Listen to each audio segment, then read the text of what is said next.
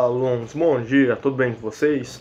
Começando aí mais uma aula de Química, essa que é a aula que a gente está fechando, encerrando aí a primeira etapa, a N1 do quarto, quarto bimestre de Química, é, mais perto do que nunca aí do final do nono ano de vocês, dessa primeira etapa do ensino fundamental, preparando aí para entrar no ensino médio, uma nova etapa, uma nova era, e para fechar, né, com chave de ouro esses últimos tópicos que nós estamos estudando no fim de ano, é, no quarto bimestre, uma aula para a gente corrigir e discutir a avaliação de vocês, até porque vamos continuar, né, o segundo, segundo, segunda parte do quarto bimestre, e é importante que todos esses conceitos aqui você estejam bem fixados na cabeça de vocês, porque agora no quarto trimestre, na segunda etapa do quarto trimestre, N2, nós vamos estudar escala de pH,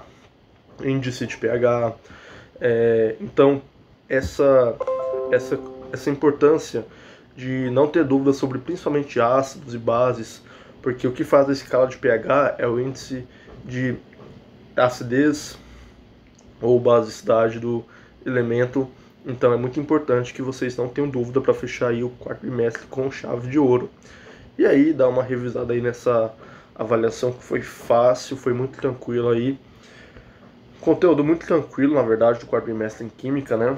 Funções químicas ou também chamadas de funções inorgânicas. E aí vamos corrigir as questões. Foram cinco questões, ordens aleatórias. Pode, pode ser que essa tenha sido a primeira questão ou não de vocês, não interfere. É importante que essa questão estava assim na prova de vocês, então vamos corrigir ela aí. Funções químicas são: primeira alternativa, os grupos de substâncias simples que apresentam propriedades químicas e comportamentos semelhantes. Segunda alternativa, os grupos de substâncias compostas que apresentam propriedades químicas e comportamentos semelhantes. Terceira alternativa, os grupos de substâncias compostas que apresentam propriedades químicas e comportamentos diferentes. Terceira alternativa, os grupos de substâncias simples que apresentam propriedades químicas e comportamentos diferentes. As quatro questões, as quatro alternativas são bem parecidas. Você realmente tinha que saber o que era a função química para poder responder essa questão. É, porque muda, em cada alternativa muda um pedacinho só da, da questão. Funções químicas, pessoal, a gente já sabe que são grupos de substâncias compostas não são substâncias simples. Logo, a gente já elimina aí é, duas alternativas, que é a primeira e a última. Então, quando a gente fala de função, funções químicas ou funções inorgânicas, nós estamos falando de substâncias compostas. Lembra que eu falei que as funções químicas é, são basicamente uh, pegaram as substâncias compostas que em contato, que em comportamento, em, em contato com outras substâncias, elas apresentavam comportamentos iguais, semelhantes. Então agruparam, pegaram funções, elementos compostos, viram aí quais tinham os comportamentos é, iguais, semelhantes, e agruparam basicamente em quatro grupos: ácidos, bases, sais e óxidos. Então, eles são grupos compostos que apresentam propriedades químicas e comportamentos semelhantes. Logo, a resposta dessa questão era a segunda questão, era a segunda alternativa. Os grupos de substâncias compostas que apresentam propriedades químicas e comportamentos semelhantes. Então, essa é a definição de funções químicas e funções inorgânicas, que é a mesma coisa. Próxima questão, coloquei uma questão para cada uma dessas funções, que era importante vocês entenderem, vocês saberem o que é o ácido, o que, que é a base, o que, que é o sal, o que, que é o óxido. Então eu coloquei aí uma para cada, de forma que vocês fixem de vez e não confundam principalmente o que é cada um dos quatro, porque nessa segunda parte do quarto trimestre nós vamos usar. Então, essa questão falava, os ácidos são, tínhamos aí quatro alternativas, sendo que a primeira alternativa é, são produtos formados por uma reação de neutralização na sua fórmula química nunca iniciam com H e nem terminam com OH. Segunda alternativa: são substâncias compostas de dois elementos químicos, em que um deles é essencialmente o oxigênio. Terceira alternativa. São substâncias que em água liberam ânions, OH negativo. Ponto. O ânion é formado sem, o ânion formado é sempre o OH hidróxido e sempre possui no final da fórmula. E quarta alternativa, compostos moleculares que, quando em solução aquosa, liberam íons H positivo, que são os cátions. O cátion é sempre hidrogênio, por isso o H+. É questão tranquila, a partir do momento que você sabe o que é ácido, base, sais e óxido, não tem muito o que confundir. Então, pessoal, os ácidos, eles são aí a última alternativa, compostos moleculares que, quando eles são diluídos, são soltos em solução aquosa, liberam hidrogênio, liberam moléculas de hidrogênio positivas, que são os cátions. Cátions que a gente viu na, na aula de física, vocês estão vendo no conteúdo de física, que um cátion é quando um átomo, quando uma molécula, ela está energizada, no caso está energizada positivamente. Ela tem mais prótons e tem menos elétrons. Então, quando o número de prótons é maior do que o número de elétrons, esse átomo está eletrizado e está eletrizado positivamente. Este átomo é um cátion. Então, em água, ele libera um cátions de hidrogênio e o cátion é sempre hidrogênio, por isso o H+. Então, é, o hidrogênio é a principal molécula aí dos ácidos, inclusive nós temos aí ácidos fortes e ácidos fracos. O que diferencia um ácido forte de um ácido fraco é a quantidade de hidrogênio que ele libera. Então, quanto maior o índice de hidrogênio, mais forte é esse ácido. Quanto menor o índice de hidrogênio, hum, é mais fraco é esse ácido. Nós temos desde ácidos que podem ser consumidos, como o ácido das frutas, o ácido do abacaxi, etc. E ácidos que a gente não pode nem encostar, que são corrosivos, são perigosos, como o ácido sulfúrico e etc. O que diferencia o ácido do abacaxi pra, para o ácido sulfúrico, basicamente, principalmente é a quantidade de hidrogênio que tem nessa em cada uma das soluções. Por isso a gente tem os ácidos fortes e os ácidos fracos.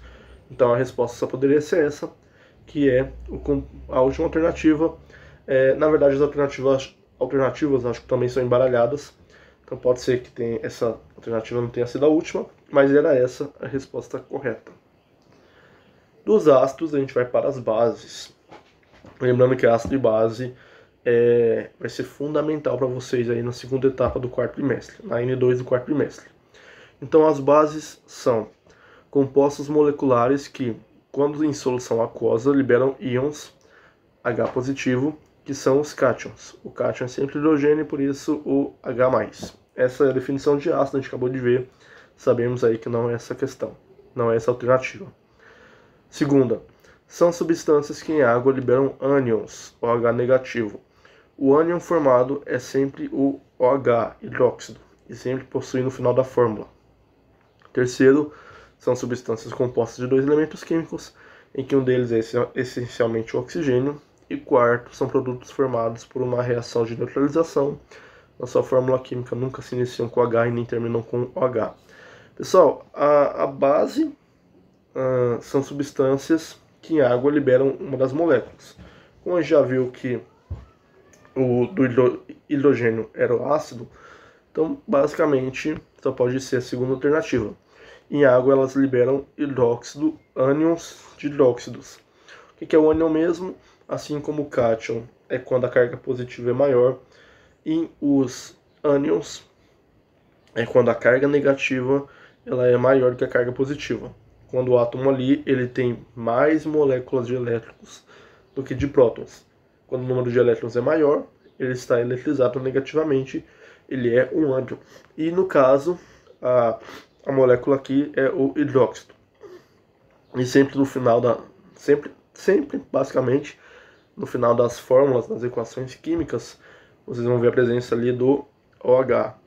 As bases também existem bases fortes e bases fracas, e assim como o ácido, as, o que diferencia uma base forte, de, como a soda cáustica, etc., para uma base fraca, como a do sabão, do sabonete, a cal, é a quantidade de hidróxido que ela libera. Então, quanto maior a quantidade de hidróxido, mais forte é essa base. Quanto menor a quantidade de hidróxido, mais fraca é essa base. Então, esse é o conceito de base e essa era a resposta correta da questão da prova. Próxima questão. Bom, os sais são, as alternativas são as mesmas, né? Da, da primeira, você só tinha que diferenciar aqui qual era os sais. Já eliminamos duas alternativas, que, que é a primeira e a segunda. Sobram apenas duas alternativas para ficar mais fácil ainda, para não confundir os sais. Os sais eles são formados pela reação de neutralização. Lembra que eu falei que quando você tem ácido e você usa base, você mistura, geralmente você usa uma base para neutralizar o ácido, acontece uma reação de neutralização. Essa reação libera água e libera sais. Então a resposta é essa primeira aí. São produtos formados por uma reação de neutralização. Na sua fórmula química nunca se iniciam com H, porque quando inicia com H é um ácido, e nem terminam com H, porque quando termina com H é uma base. Então o as, os sais eles são formados da reação de neutralização, que é quando você junta ácido com base. Geralmente você usa uma base para neutralizar um ácido. Dessa reação, que é chamada de reação de neutralização, acaba liberando os sais. Então a resposta será essa. Sendo assim, vamos para a última questão, que é: os óxidos são. A única que sobrou é são substâncias compostas de dois elementos químicos em que, em que um deles é essencialmente o oxigênio. Então o óxido ele sempre tem a molécula de oxigênio. Ele é uma substância composta, vai ter o oxigênio com alguma coisa e sendo que uma delas sempre é o oxigênio. E aí as características dos ácidos, dos ba das bases, dos sais, dos óxidos, a gente estudou aí ao longo da, da primeira parte do quarto trimestre. É, o importante era saber essas definições, porque nós vamos precisar usar muito agora na segunda parte do quarto trimestre, em que a gente vai estudar escala de pH, índice de pH, é, etc. Pessoal, é, por hoje é só. A gente encerra aí essa primeira, primeira parte do quarto bimestre. Semana que vem a gente começa oficialmente a segunda parte do quarto bimestre, já encaminhando aí para fechar esse semestre, fechar o ano letivo aí com chave de ouro. Qualquer dúvida que tenha ficado, se não ficou claro alguma coisa, se ficou confuso, alguma alternativa, alguma informação, é só me procurarem, podem mandar mensagem, fiquem à vontade. É, vejo vocês nas nossas lives da semana que vem. Um ótimo final de semana, um bom descanso, aproveitem aí, estudem, descansem. Vejo vocês na próxima semana. Um forte abraço e tchau, tchau.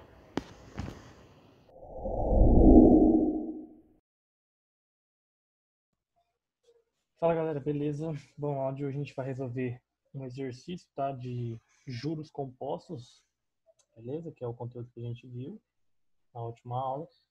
Então, exercício da página 15, vamos dar para na página 15, número 2, beleza? Então, fala assim, ó. Há mais de 3 mil anos, povos como os hindus estavam habituados a resolver problemas relacionados a juro que, de modo geral, estavam associados às transações comerciais da época. O problema enunciado a seguir consta em uma tábua cerca de 1700 a.C. Então vamos lá. Por quanto tempo deve-se aplicar uma certa soma de dinheiro a juros compostos anuais de 20% para que ela dobre? Beleza? De acordo com o enunciado do problema, o tempo deve ser maior ou menor que 3 anos. Justifique. Então tá que a gente vai fazer? É, para que ela dobre. Né? Então vamos, vamos supor, vamos supor que a gente não sabe o quanto que a gente vai investir, né? Ele não falou aí, então vamos, vamos chamar de capital mesmo, vamos chamar de C. A formulazinha é o quê? É J igual a CIT. Certo? Se é juros compostos, então o que, que eu vou ter que fazer? Então pôr aqui, ó. Juros 1. No primeiro, no primeiro ano o C, que a gente não sabe quanto que vai investir, pode ser qualquer valor, vezes 20%, que é 0,2, né? 20 dividido por 100 dá 0,2. Vezes o tempo de um ano. Beleza? Que é o primeiro ano.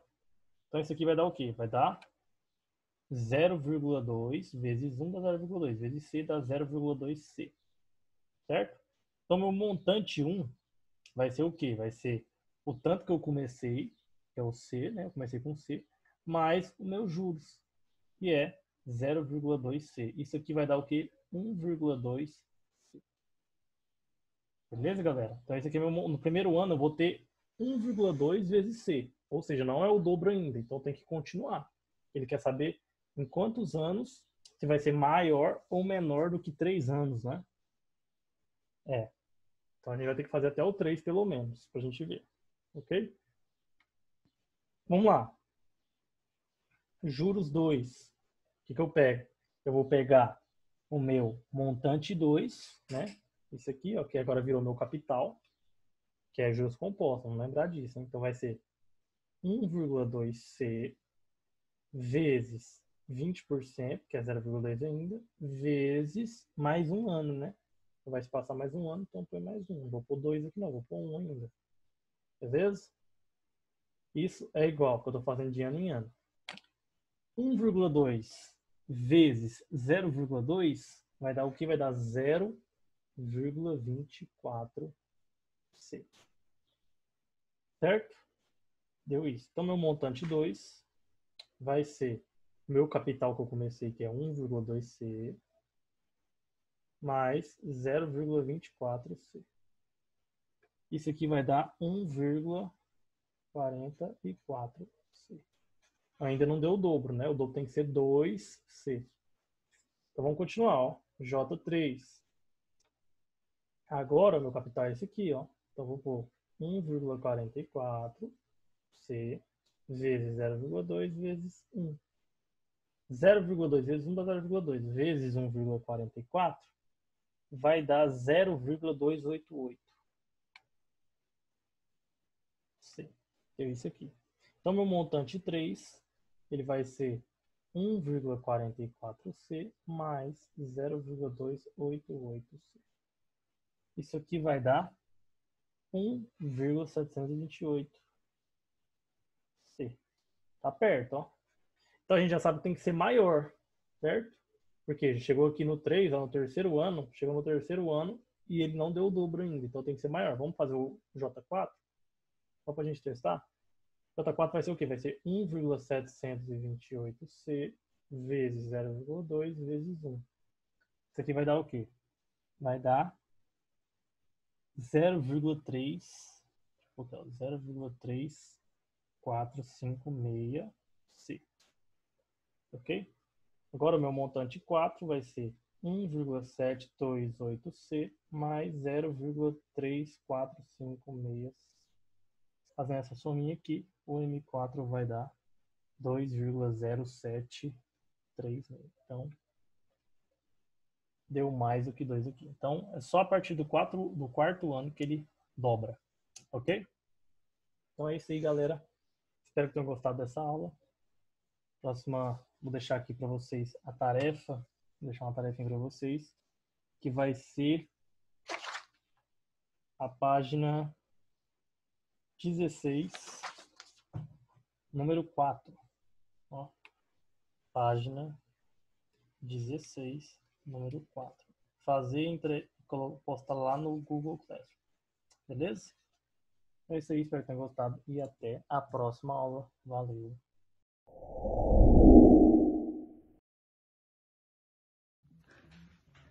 Fala aí, galera, beleza? Professor Igor aqui na área mais uma vez. Tudo certo aí com vocês? Todo mundo fazendo as atividades que o professor está propondo, né? Muito bom. Ó, hoje o professor veio propor uma atividade que vai precisar de um pouco de coordenação de vocês, vai precisar de agilidade de vocês, certo? Então eu vim trabalhar esse ponto de vocês. A nossa atividade é bem simples de se fazer, bem tranquila. Nós vamos precisar de um único material e um espaço um, aberto ou um pouquinho mais amplo. Eu, tô, por exemplo, estou aqui no meu quarto. Ó, uma sacolinha, duas sacolinhas, três sacolinhas. Qual que é o intuito dessa brincadeira? Você jogar uma sacola para cima jogar a outra e não deixar nenhuma cair no chão, certo? Para que você possa mudar os níveis ah, de acordo com o tempo, se ficar muito fácil você brincar, você vai adicionando sacolinhas. Qual, qual o método, qual a forma que vai ficar mais fácil? Quanto mais alto você jogar, mais fácil você tem, mais tempo você tem de pegar a outra e jogar para cima, certo? Então eu vou começar só com duas sacolas para vocês verem como que é. Com duas vocês vão abrir bem elas para que elas possam pegar o ar, certo? Vocês vão abri-las. Eu vou começar com duas, depois adiciono mais uma. Ó, bem simples. Jogo para cima. Ah, e só pode uma das mãos, tá bom? E tem que sempre alternar a sacola. Beleza? Só pode trabalhar uma das mãos. Se ficar fácil com uma das mãos com as duas sacolas, troca a mão e faz com a outra mão. Certo? Vou fazer o exemplo agora com três sacolas com uma das mãos. E aí, por por progressão de vocês, se vocês forem melhorando isso, vocês vão adicionando sacolas. O que isso vai ajudar na minha vida, tio? Isso vai ajudar vocês na coordenação, na lateralidade, na agilidade de vocês, raciocínio. Então, as atividades que o tio Igor propõe, que o professor Igor propõe, não são coisas à toa, são coisas que vão ter uma melhoria no dia a dia de vocês, no dia a dia na escola, no dia a dia na sua casa, nas suas atividades que vocês estejam fazendo. Beleza? Vou fazer o um exemplo com as três aqui. Vou tentar, né? Porque não é fácil. Todo mundo pensa que é fácil, mas não é fácil. Vou abrir as sacolas. Ó, caiu uma já. Vamos de novo. Vamos lá. Opa! Ela aqui não é fácil. Ó, caiu uma ali já. Vamos de novo. Vamos lá. Opa! Ela aqui não é fácil.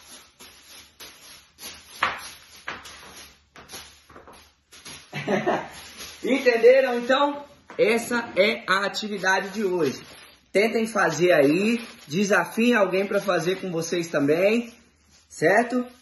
E até a próxima aula. Um forte abraço para vocês, fiquem com Deus e estaremos juntos logo logo. Beijo, gente. Tchau, tchau.